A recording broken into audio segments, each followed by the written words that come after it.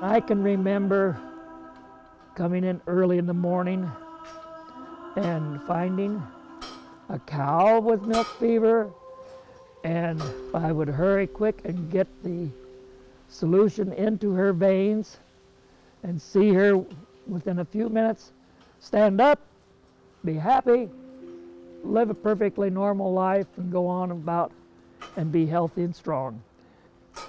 And um, my dad went to college here, but he spent quite a bit of his time here on the farm and the dairy.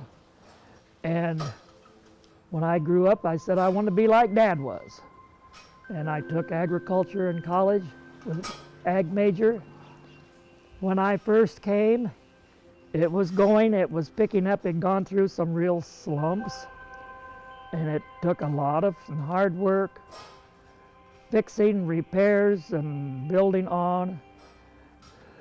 So it, it's progressed immensely, and it has done well. It's grown and developed where we are all proud of it. Um, I've retired 18, 19 years ago, but I've still enjoyed coming down for a few hours now and then, helping to take care of calves, and I like to come and visit and just walk through the barns and the calf barns and see how things have changed and enjoy it. But um, it's the end of an era, but we knew eventually it would come. Not really the way it has come this time, but it's pretty much inevitable that it would, it would come with the product prices of milk that were coming in. So we figured it was, it was time.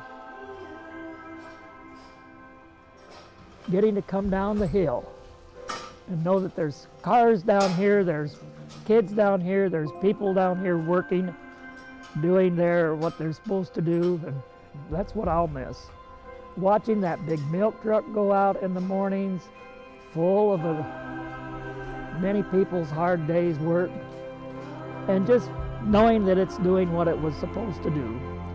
But you just keep going and keep happy when things are hard, when things are difficult, things change.